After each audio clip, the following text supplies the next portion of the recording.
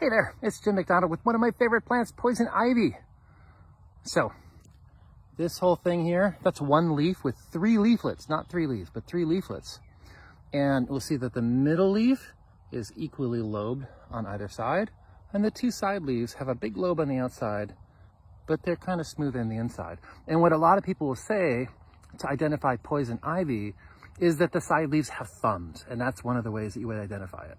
And that can work until, oh, you look at a poison ivy leaf attached to the same plant that doesn't really have any jagged edges or thumbs of any kind. Oh, but then you go and that one clearly is jagged and has the thumbs. You see that? Oh, but that one there doesn't. And again, attached to the same plant. Um, sometimes there's really overt thumbs like that. And other times we have, you know, more roughly serrated edges. So the edges of the poison ivy leaf are not a reliable indicator because they can be highly variable.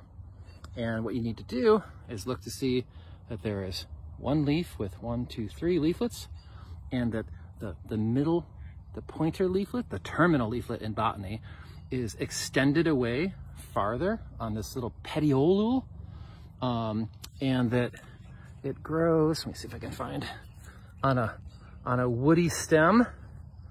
And actually, if you look there, you can see that it has alternating and not opposite leaves.